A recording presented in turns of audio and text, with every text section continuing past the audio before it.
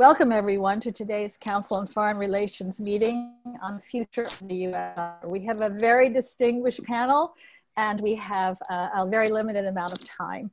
Um, I'm Laura Tyson. I'm a professor at the Haas School of Business at the University of California, Berkeley. We have more than 500 members who are online for this uh, exciting and important conversation.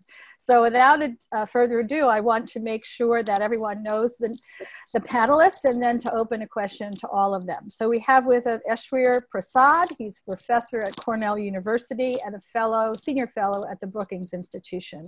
We have Carmen Reinhart, who is the vice president and chief economist of the World Bank.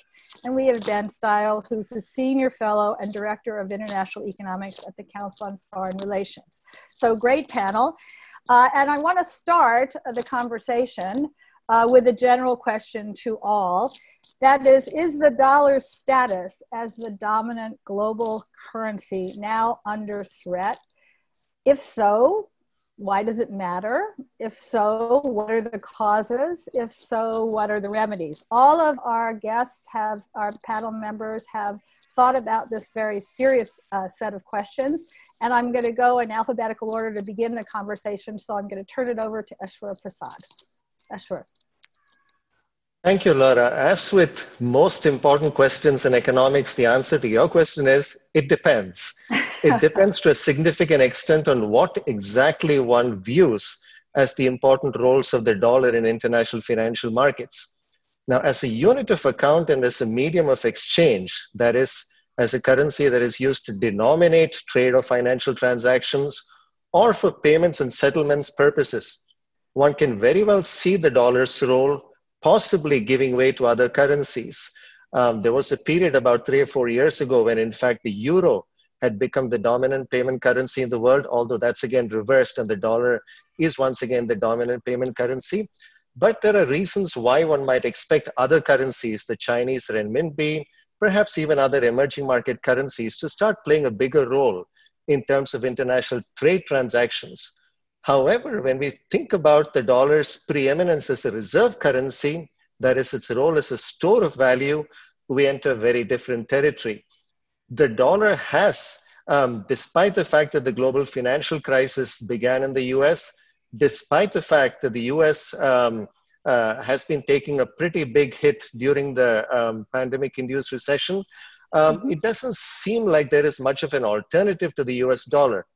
At times of turmoil in global financial markets, investors want safety.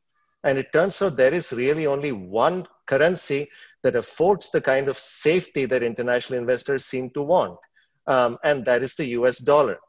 Now, this does not necessarily mean that the US is going to be as dominant in terms of the global economy as it has been in the past. China is fast catching up.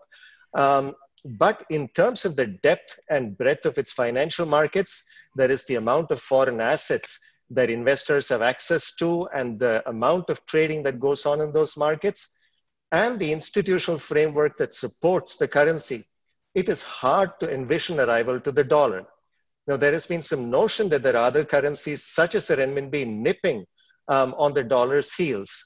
What we've seen in the last few years is actually something interesting that there has been a rejiggering of the relative importance of the second tier currencies, in which I would include the euro. So the dollar's position remains as dominant as ever as a reserve currency. I don't see that changing in the um, foreseeable future.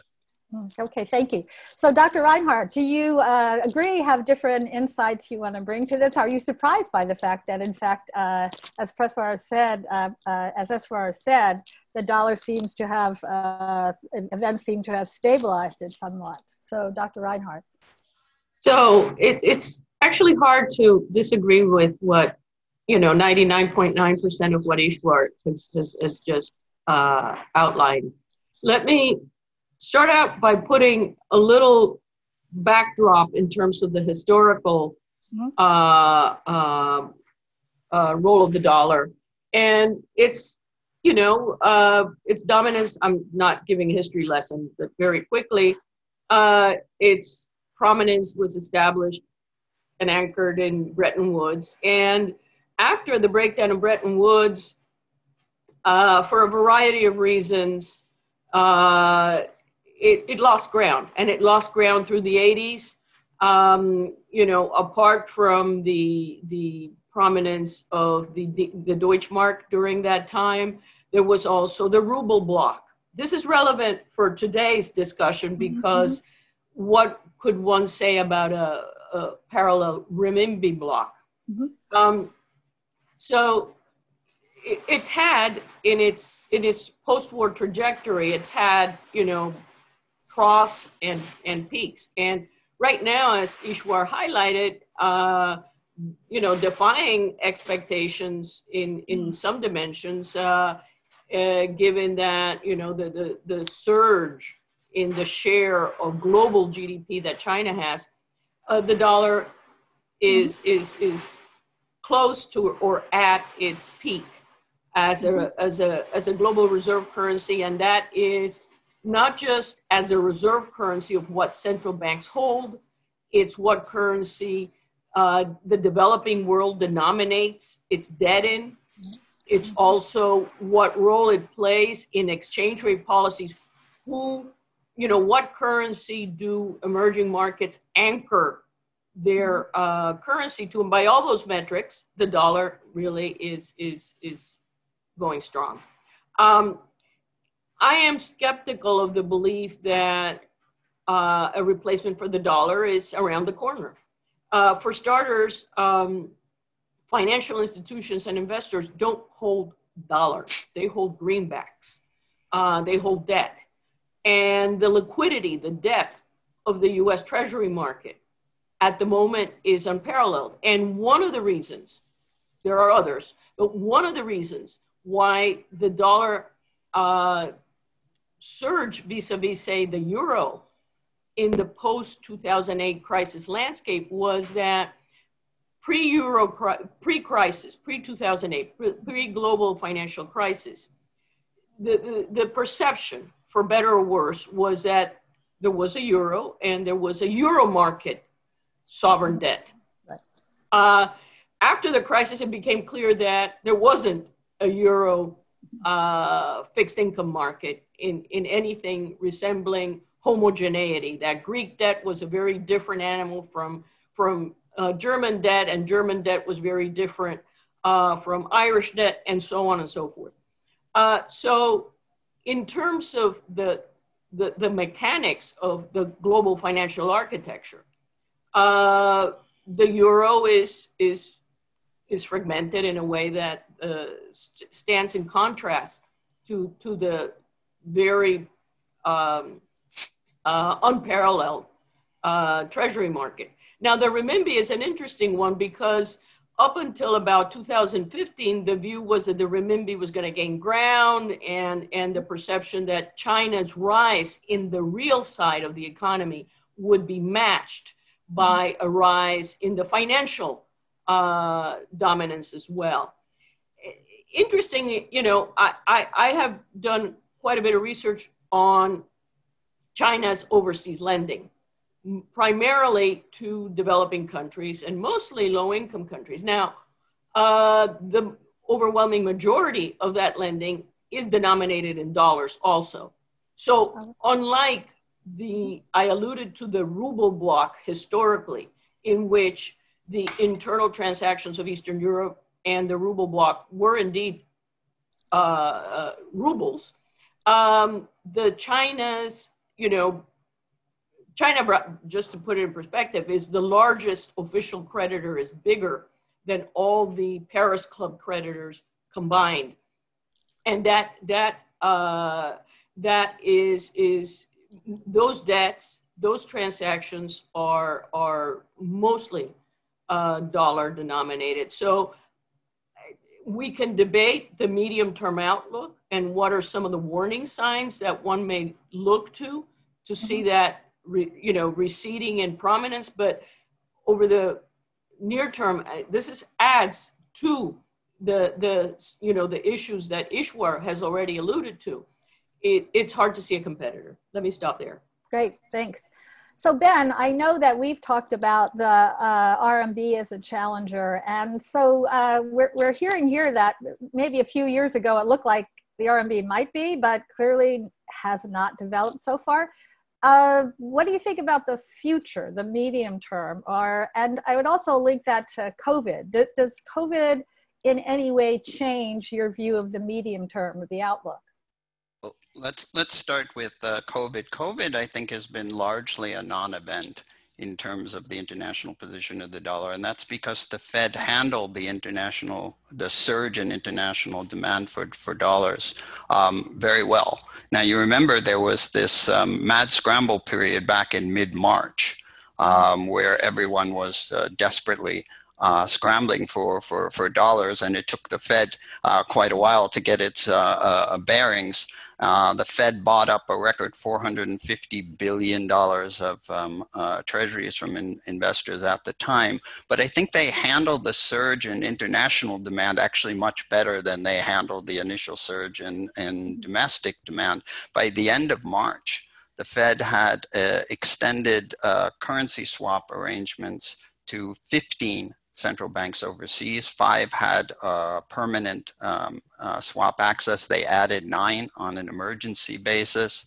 Um, and in, uh, in the first few weeks of April, they extended um, nearly half a trillion dollars of um, uh, loans to foreign central banks through currency swaps.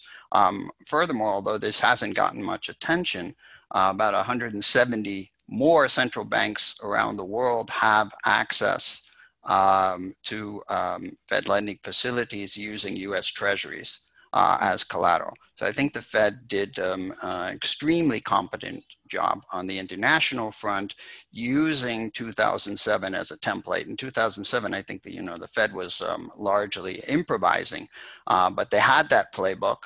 Uh, they dusted it off and they handled it well. Now, um, looking out to the future, focusing on the um, RMB, um, I remember vividly this um, front page article in The Economist back in 2000, 2014 saying that the internationalization of the RMB was quote unquote remorseless and unstoppable. Wow. Um, it was almost impeccable timing because less than a year after the article came out, um, uh, the internationalization of the RMB went into sharp reverse.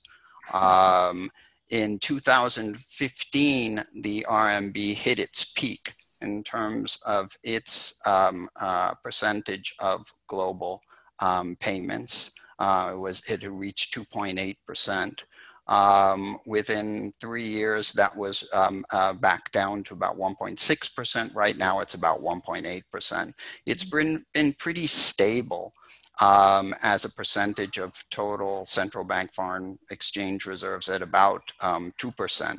So what happened? What happened? And my reading is that the, the, um, the uh, idea of internationalization was never really clear. It wasn't that people were scrambling for RMB because they wanted to use it for international payments. From 2005 to 2013, the RMB was steadily and consistently appreciating almost month by month. And mm-hmm. as we know, the uh, People's Bank of China was um, slowing down that appreciation. Um, but buying RMB during that period was seen as a one way bet. So there were massive speculative flows going into the mm-hmm. RMB. After 2014, that stopped. And as you know, since then, the PBOC um, has at times had to intervene um, uh, to, to keep the RMB up. Once those speculative flow inflows stopped, the internationalization of the RMB, RMB went into to sharp reverse. And there are actually no signs um, that um, uh, we're seeing the RMB emerge as any sort of competitor to the US dollar. So Carmen mentioned uh, uh, the, the, the idea of a block. Uh, so uh, one possibility is the RMB becomes increasingly important in a trading block that China dominates. Um, I wanted to get your sense of that. Uh, and also, I know that Eswar has talked about the, the rise of the digital currency, the central bank digital currency in China, and could that change things? So, uh, Carmen, why is it the case that one could not have? I don't know. Why is why is China uh, lending in dollars, and why would it not develop over time an RMB focused uh, block around its own trade and financial transactions? And then I'll go to Eswar to sort of think about digital currency here. So this really goes to the heart of, of the point that Benn was was was making. Mm-hmm. You know, you you you had a period in which China was growing at double digits.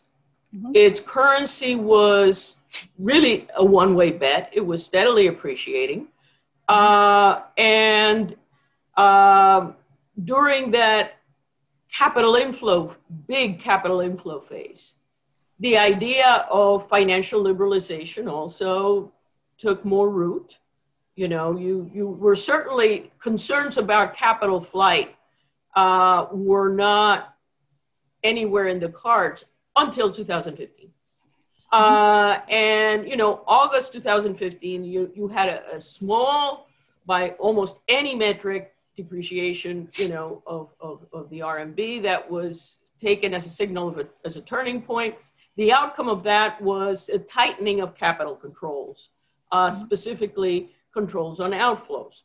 Uh, it, you know, for a, a global reserve currency, uh, capital controls, you know, you, as Rudy Dornbusch used to say, you went to a party because you knew you could leave at any time you wanted. if not, you wouldn't go. And, and that was a big, a big turning point.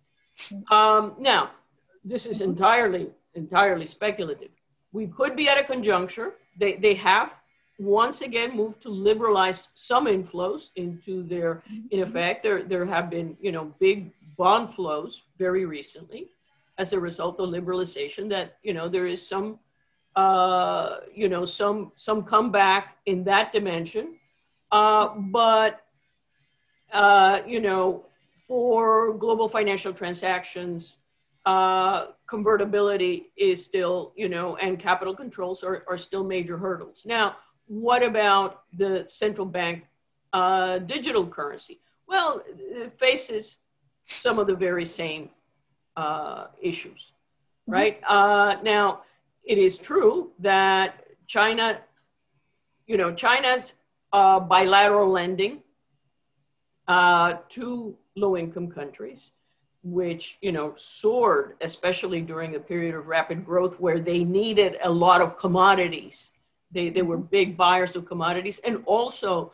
Uh, I, without derailing the, the, the, conversation, but you know the recipient countries, the low-income commodity exporters, had relatively clean balance sheets at the time because of the HIPC initiative, their debt write-offs, and so they looked like an attractive uh, you know, venue for, for lending. Oh, uh, it post COVID, it will be questionable whether the or highly suspect whether those countries remain uh, an important uh, destination uh, for Chinese uh, outward flows. And having said that, you know, this connects to your question about uh, central bank digital currency. Could China, in these bilateral agreements, uh, denominate some of its debt in RMB or in the, the newer uh, central bank digital currency? Yes, but why would it do that? Um, uh, it's it's really not not at all clear. Um, I, I'd like to conclude though on you know the the point that um, we may be seeing if the divergence, say, between China's growth and US growth mm-hmm. uh, goes in the direction that we've been seeing recently, given that China got its uh, pandemic house in order mm-hmm. sooner than the rest of the world, we may be seeing a period of renewed inflows. Uh, but that's a different cyclical, if you will, or, you know, uh, rather than the, some of the structural issues we've been discussing here. Right.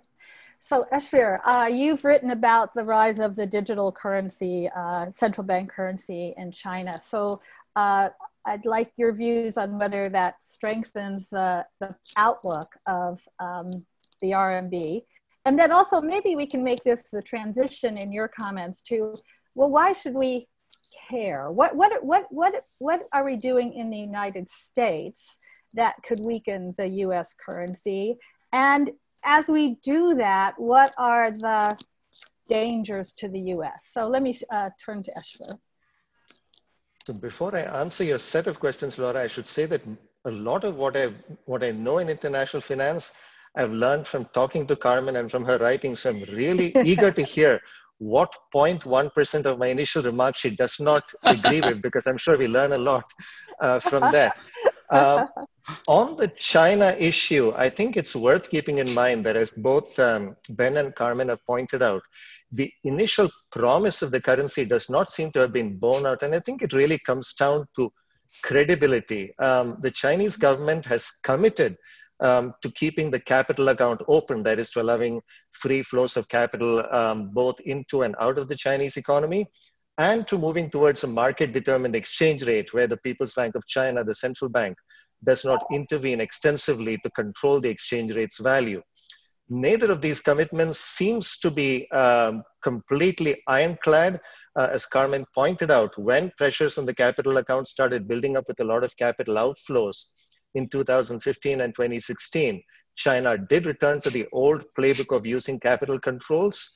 So at the moment, we do have a fair bit of capital flowing into China because China does provide a lot of opportunities to investors for better yield, better diversification. But I think a lot of money that is going in is really passive money because China is becoming included in stock and bond fund indexes around the world. But the sort of uh, flows one might expect, given that China has now thrown open its doors, um, especially its corporate and government bond markets to foreign investors and largely its stock markets as well, we don't see that many inflows. And I think this credibility is an issue. That mm-hmm. comes to the broader point that connects um, what is keeping down the Chinese renminbi and what is keeping up the US dollar, which I really think comes down to the institutional framework. And that has some critical elements. So if you think about not just a reserve currency, but a safe haven currency, one that investors mm-hmm. around the world turn to at troubled times, you need certain institutional elements such as an independent central bank. You need um, the rule of law such that even the government has to play by the rules um, that have been set. You may or may not like the rules, but even the government is bound by them. And you need an institutionalized um, uh, checks and balances system. China doesn't quite have this institutional framework. Now, one can certainly make the argument that in the last four years in particular, every element of the institutional framework that I mentioned has been undercut in the US. Um, the rule of law isn't quite what it was the independence of the Fed again has been challenged and the checks and balances don't seem to be working terribly well. But in international finance, ultimately it's all relative. So if you put together this combination of institutional framework and one hopes that the checks and balances will still work in the US, if you put together and what Carmen referred to, the enormous depth of US fixed income markets, especially the treasury securities market and the liquidity in those markets, there really is no alternative. So does this matter for the US? Does it matter for the world? In the lead up to the global financial crisis, the concern was that this dominance of the dollar was letting the US basically get away with uh, running very large current account deficits, borrowing from the rest of the world very cheaply, and that this was creating imbalances in the global uh, capital flows. Those um, imbalances did peter away a little bit after the global financial crisis, but they have come back up. And certainly, um, the level of uh, uh, debt that the US is accumulating to the rest of the world, um, even though that may be somewhat overstated in official measures, but it's still a large amount, that is a potential problem. Um, but the question again becomes if there is no alternative, if one cannot think about a better system, maybe having a unipolar world is not the best of all possible worlds but among the available worlds, it may not be such a bad one. So, Benn, you've written about the role of the frequent use of US financial economic sanctions as uh, something that, that leads to questions around the world of reliance on the dollar, since basically the US seems willing then to intervene in financial markets, impose economic sanctions in a way which other countries may not want to do. Um, do you think that uh, looking forward, that's a, that's related, I think, to Eswar's point that the institutional framework has been weakened somewhat in the U.S. Uh, what do you think are the main things that the U.S. can do to uh, shore up its uh, role as the global uh, currency provider? Um, let me just briefly address the uh, China question, and then I'll, mm-hmm. I'll move into the the U.S. question. Um, first, in terms of the Chinese government's efforts to internationalize the RMB, there's a long-term perspective and there's a short-term perspective, and, and they clash. Um, long-term, there's no doubt that the Chinese government likes the idea of RMB internationalization and is taking steps to push it forward. Um, but uh, in the short term, there are many things pushing against that. First of all, um, uh, international transactions outside of uh, China still overwhelmingly denominated in dollars. So a lot of um, Belt and Road financing from China is not only in dollars. When it's in RMB, it often gets swapped into dollars. So there's mm-hmm. you know there's there's little China can do in the short run. Um, secondly, China itself is conflicted because in a crisis like we're going through right, right now, capital flows are volatile. China often wants to encourage dollar inflows because it needs dollars. Right. Um, so in the, the short term, um, we can expect China um, periodically to take actions that are going to push against the internationalization of the RMB. Um, with regard to the digital currency, um, I see that um, as having overwhelmingly domestic political and economic significance, not international significance. Mm-hmm. It will reinforce the power of the CCP um, over domestic financial transactions and weaken the power of um, uh, private and state-owned financial mm-hmm. institutions mm-hmm. um, uh, in in the country, and it will come. It will push to reinforce um, CCP uh, control over social interactions. For example, the social credit system. Um, to the extent that the government is controlling um, in essence, all financial transactions, it can use access to that system as a very powerful tool to compel people to behave in one way and not another. So I see that significance as being overwhelmingly domestic. With regard to the US, um, uh, you know, you and I have discussed this before. I think the, the biggest threat um, to the continued dominance of the US dollar internationally is the behavior of the United States. Um, over the past decade in particular, we've used uh, financial market san- sanctions increasingly aggressively um, for understandable reasons. They're a very powerful tool um, to compel uh, nations to behave in certain ways and not others because nations need access um, uh, to US dollars in order to conduct any sort of international financial transactions. The problem is um, that the more you use this aggressive tool, the more we can expect the rest of the world to adapt to it to find alternative mechanisms. It's just like the overuse of antibiotics for treating specific types of bacterial infection.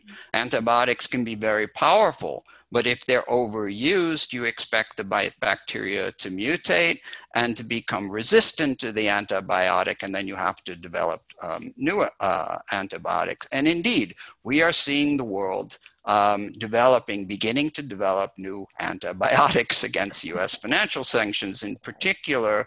Um, Iran, as you know, mm-hmm. Um, has uh, given the European Union enormous impetus to begin developing an alternative international payment system that mm-hmm. will not involve um, uh, any role for um, uh, the US dollar based payment system. It's still embryonic, But again, the more we continue to use this um, uh, tool in ways that the rest of the world finds offensive, um, the more we can expect the world to invest in alternatives that could ultimately, over time, begin whittling down the influence of the US dollar internationally. Thank you. Um, it's time to turn to the audience, but I want to take a, a, moment to ask Carmen a question because it's something that hasn't come up here. So, Carmen, you have written extensively on how countries can become over indebted, the debt to GDP ratio, the fact that a country can lose fiscal space by losing confidence. So, the US fiscal outlook has seriously deteriorated over the next decade, clearly. And uh, yet, we continue to see uh, purchases of US uh, assets, federal government assets, and we continue to see very low borrowing rates. Are you concerned about the debt and deficit outlooks for the United States and the implications for the dollar? And then I'll, I'll turn over to the members at that point. So, well, first of all, I want to clarify, Eswar, I didn't say 100% because it doesn't look good. You know, it doesn't look good in these things. If, if, if, if it's oh, uh, controversy uh, on our panel.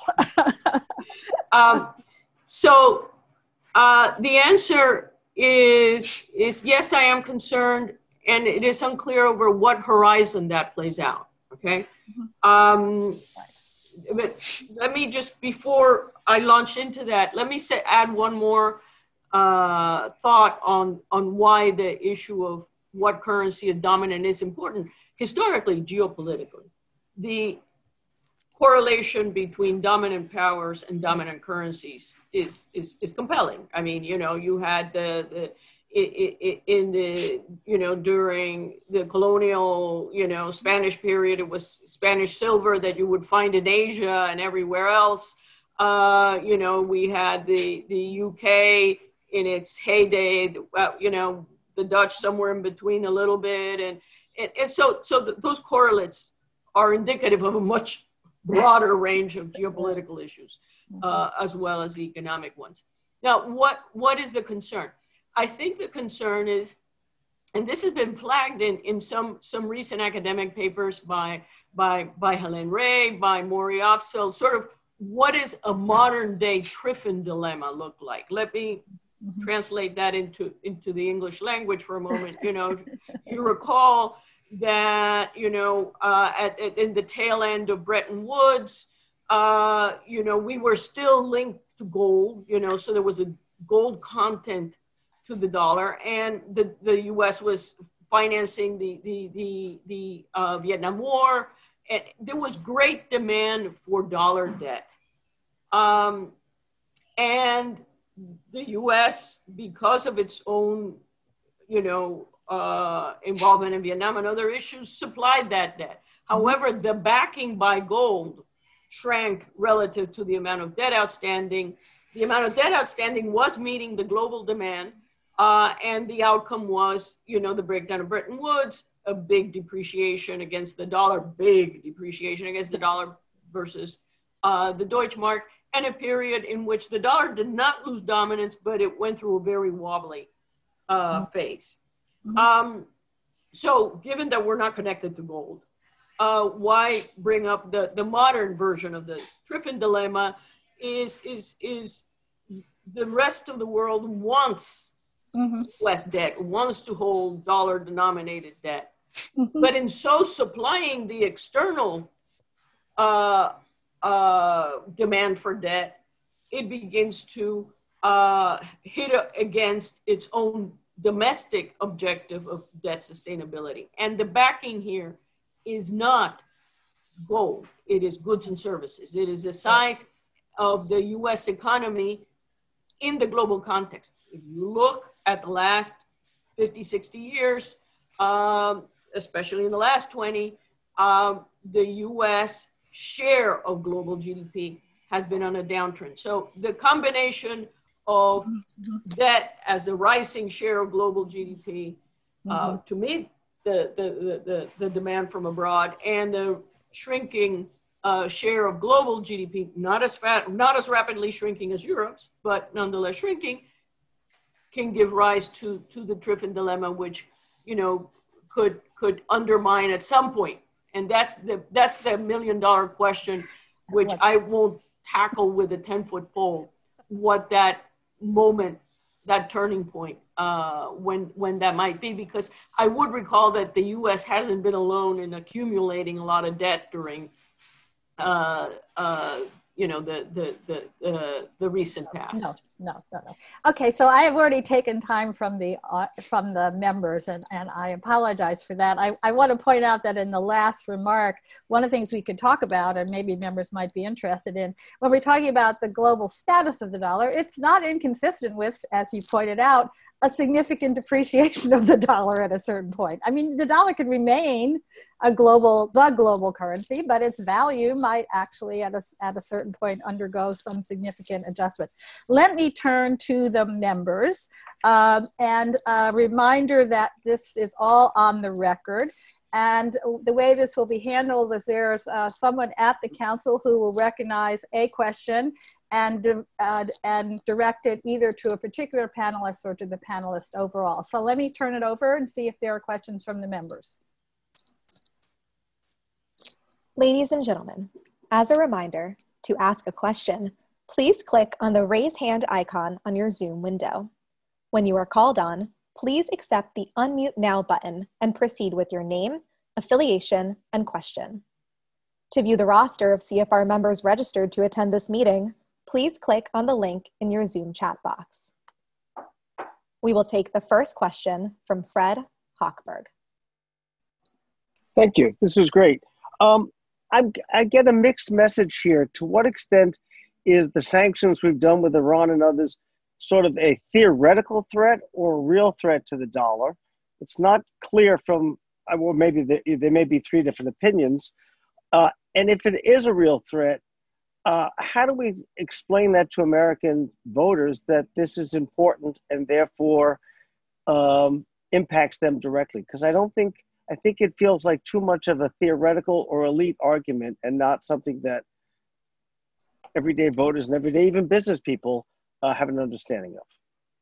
So, so Benn, you've you've uh, actually written about the importance of these sanctions. Um, maybe what we can you might want to talk about is have they had an effect so far or will they undermine going forward? Because you mentioned that the rest of the world is looking for alternatives. We've right. encouraged them to look for alternatives. Well if if the um, eu su- uh, succeeded in building a credible infrastructure for international payments um, uh, that quarantines um, uh, the uh, US um, financial system, that would most likely encourage more international transactions to be done in euro. So that's one possibility. Um, mm-hmm. but I should also emphasize to, to make it more practical, which is what, what Fred's asked for, um, to uh, give you an example of ways in which we um, are have over past two decades, in fact, tried to apply financial market uh, sanctions in ways that are totally counterproductive in terms of our purposes. For example, one of the things I've written about is so-called capital market sanctions, which went into hiatus for a long period, but is now coming back again as a very, very um, uh, popular way to um, uh, bludgeon China. In other words, to try to stop Chinese companies from raising capital in the U- United States. Uh-huh. Um, I, I wrote extensively about that 20 years ago, so I was um, surprised to see how it's, it's, it's, it's come back. Um, and here's the problem. Um, Chinese companies typically list domestically or in Hong Kong first, and then they come to the US markets, NASDAQ or the New York Stock Exchange. And they're mostly using that as number one, a, a branding tool. Um, but there are alternative branding tools to, to listing on a US exchange. And second, um, to uh, uh, um, uh, acquire uh, retail order flow. Um, in other words, retail participation in the stock, which is, again is primarily a branding tool because overwhelmingly stock investment, particularly in this com- uh, country, is institutional. So, uh, two decades ago, I had looked at a major capital market sanctions campaign against PetroChina, which a number of prominent congressmen were trying to stop from listing on the New York Stock Exchange. Now, PetroChina was also listed in, um, in Hong Kong. Um, so I, I investigated. I, I, I first um, had meetings with large institutional investors to find out if they were um, uh, investors um, in PetroChina. They did, PetroChina was eventually allowed to list on the New York Stock Exchange to find out where they bought it. And overwhelmingly, they told me they bought it in Hong Kong. They would not buy the shares in New York. Why? Because that's where they were liquid. Um, I found that the biggest international investor in PetroChina China shares was Warren Buffett. So I investigated where did Warren Buffett buy his shares? 95% of the shares he bought in PetroChina were bought through Hong Kong, not through the New York Stock Exchange. So, to the extent that we are successful mm. in stopping Chinese companies from listing in the United States, we will encourage American institutional investors to go to China to buy those um, shares, where the transparency, of course, will be um, uh, considerably less, and they will be able to buy them in, in alternative currencies like RMB or Hong Kong dollars or, or, or something else, uh, non-dollar alternatives. So we're actually promoting less transparency in terms of the behavior of these um, Chinese um, uh, companies, and we are encouraging American institutions to go abroad to bypass our own system in order to um, participate in these um, finan financing. So we need to think in a more sophisticated way about how we use this tool. So I will, I will go to another question, but I would just want to do an unless to what you just said. Unless uh, another administration sometime in the future decides not just to prohibit purchases of certain products from China, but prohibit right. institutional investors in the United States from investing in those companies. And that, I, I, that is within the realm of at least, I'm sure, consideration of some. I that think. can happen. I would just point out that those institutions have international um, uh, businesses. Of course, they can simply re-domicile their investments to London or to Paris or to Amsterdam or to Dublin. Um, it's very difficult in a, an environment of mobile international capital. Very difficult. Okay, how about the next question? Because I do want to give some more members an opportunity. So do we have another question? We will take the next question from Tara Hariharan. Thank you so much. My name is Tara Hariharan. I work for a hedge fund based in New York. And uh, my question is actually a direct extension of the previous question. Uh, I just wanted to drill down further on the sanctions issue. So, how do you all weigh the risks near term of the US effectively cutting off Chinese financial institutions' access to the global dollar payment system? Because the Chinese media has been mentioning this risk quite often nowadays. And we've even been hearing that systemically important uh, banks in China and Hong Kong are uh, preparing for such a contingency. So, how likely do you think this is? I mean, it is a nuclear option, but how likely? And uh, does China have the resources and capacity to be able to weather that kind of situation? Thank you. Thank you. So, uh, Carmen, uh, I'd start with you there and ask if there are any historical analogies as well to this notion of trying to control those kinds of capital flows for geopolitical reasons. So let me say that, uh, let me, and let me flag two recent examples mm-hmm. where I think even with sanctions, you run into the problem of lack of alternatives or limited alternatives. Okay. okay? Uh, mm-hmm. Russia. Uh, so, you know, we know that if you look at Russia, one of the things Russia has done to try to move away from the dollar is more reserves are held in the form of gold. Okay, that is one alternative. Mm-hmm. Again, you this and, and this is not just Russia. We we also see that in China to some degree. But that is a market that also, you know, has its liquidity limitations. Liquidity problems. Uh, another thing that China has done, for example, in recent years, in trying to wean itself from having had almost its entire stock of international reserves in dollars. And, and this is not in the context of sanctions, but in, as, you, as we all know, in the context of the, of, of the trade frictions and trade war that we've seen in, in recent years. Um, it shifted more to other uh, um, alternatives. One, we've seen China's holdings of uh, JGB bonds skyrocket. Okay, uh, certainly there's no lack of those, but um, you know that that that is one venue. But another venue that they explored is a lot iffier at the moment. They also started diversifying much more into emerging market debt uh, in their reserve holdings. At the moment, that does look like an awfully risky, risky bet. proposition.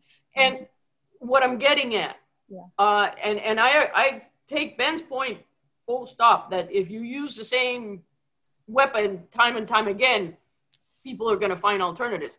But I, I do want to hark back to the point that whether it's China or Russia or any other case, uh, the alternatives at the moment are still, uh, uh, you know, can only give you limited diversification because we also initially, when US rates started to plummet, uh, no, I'm not talking about COVID, I'm talking about the, the global financial crisis. One said, well, you know, US fixed income looks less attractive, right? But this meant simply a shift from US fixed income to US equity. Uh, we saw that in, you know, uh, sovereign wealth funds and so on, that there was a reshuffling, but still within uh, the so-called dollar bloc. Mhm, mhm. Eswar, do you, uh, you've sort of uh, started your comments with it's all relative. Do you see, um, and you also have talked in your work about the, the using, going in more to international payments. How, do you, how would you answer the question that uh, our member raised, Tara, about uh, the, uh, what are the options here for the system to respond uh, if, pe- if the US is trying to move people out of US capital markets? So let me first supplement uh, Carmen's important point. I think there are alternatives out there as reserve assets. But if you think about the providers of net reserve assets, countries that are willing to provide safe assets to the rest of the world and not shun those, that's really just the US.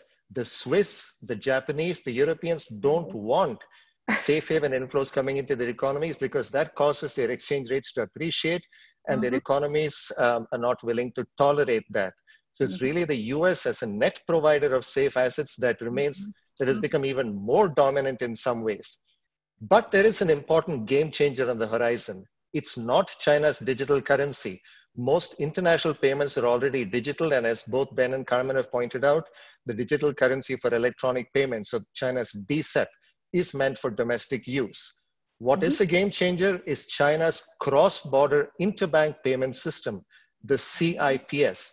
That touches upon a, uh, an important uh, aspect that Benn um, alluded to, uh, the notion that there are countries around the world that at this stage are tired of US sanctions, not only direct sanctions imposed against geopolitical uh, rivals of the US, but indirect sanctions so that um, European firms, Chinese firms that engage in any form of business with companies in those countries that the US has on its sanctions list um, get sanctioned. And this throws a very broad net. Mhm. So now you have a situation where China's cross-border interbank payment system can, in principle, talk to other countries' payment systems, such as the Russian payment system, uh, once it gets to the European payment system. So you could have a lot more payments being channeled through these alternative payment systems that um, bypasses the dollar-based financial system. So I think we're going to see a bit of a bifurcation with the dollar's role, especially if the US continues using this bludgeon, um, the dollar's role as a payments currency declining, but as a reserve currency, I don't think any of this is going to make the least difference. Thank you. That's a, I think, a really important observation, which was clearly implied by the panelists, but I think it's important to underscore. Uh, I think we have time for a couple more questions. So next question, please. We will take the next question from Teresa Barger. Uh, thank you. I apologize. There's um, my husband's printing behind me. Can you? I I have no. I have no Thank you. Um, so I just wanted to, uh, I raised my hand earlier. I just wanted to go back to this capital markets nationalism, and I'm interested that Benn had already done work on it. Um, mm-hmm. Just today, we had a Chinese company that's an ADR listed in the US announced that Goldman Sachs and Morgan Stanley were going to arrange its new listing in Hong Kong, and it went up 13%.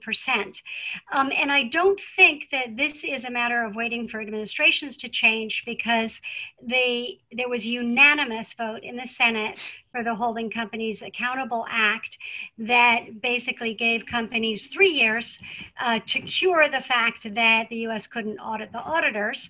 Um, but when the Secretary of State wrote to universities, he said, hey, baby, you've got two years, because he was referring to what might be an executive action on it. So I think there's a bipartisan um, a push here. And um, I'm just wondering, especially maybe Benn's crystal ball, if 1. trillion dollars of ADRs leave the US, go into China, uh, some of those will list both in Shanghai and Hong Kong.